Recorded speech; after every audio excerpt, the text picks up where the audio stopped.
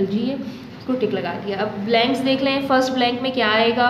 मैंने लिख दिया बायोटेक्नोलॉजी आप पूरा पढ़ेंगे techniques and manipulation of genes achieve describe characters are called biotechnology distribution of different living organism is different in different region of the world biodiversity ये definition में भी आपको लिखवाया है तो आपको उसको पता होगा कि क्या कहा जाता है। थर्ड जो है part of agriculture for the development of new varieties of plant and their fruit is horticulture horticulture की फ़ील्ड में ये सारा काम किया जाता है। Bio elements considered as a vital role life are sixteen elements in member यानी sixteen elements ऐसे हैं जिनको बायो एलिमेंट्स कहा था, ये भी आप लोग जानते हैं ये पढ़ा चुकी हूँ मैं।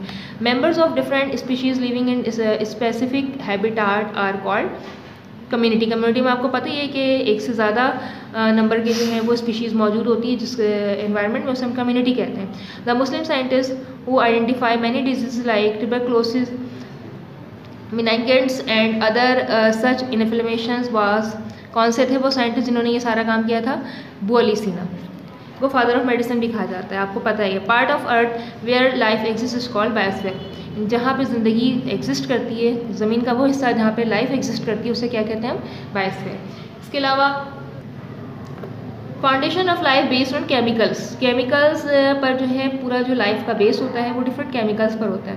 Fish is one of the best source of protein जो कंपोनेंट हमें मिलता है फ़ूड कंपोनेंट फिशेस को खाने से उसे हम कहते हैं protein radio labelling radio labelling and carbon dating also show the use of radio active isotopes and determining the age of fossils.